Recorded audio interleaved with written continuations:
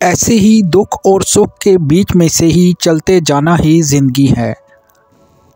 ये मत सोचें कि जब सारे सुख ही सुख होंगे, जब सारी खुशियाँ ही खुशियाँ होंगी तो तब ही मैं सुखी रह सकता रह सकता हूँ, तब मैं खुश होऊँगा, ये ज़िंदगी है। इसी में इंसान की भाग दौड़ लगी रहती है। कभी घर का कोई काम, टेंशन, फ़िक्र तो कभी रोज़गार के मसाइल, ये सब ही तो ज़िंदगी है।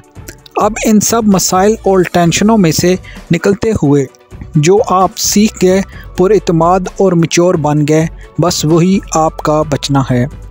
इसीलिए मुस्कुरा कर सब कुछ फेस करें, हौसला करें, ख़ुद को गिरने मत दें।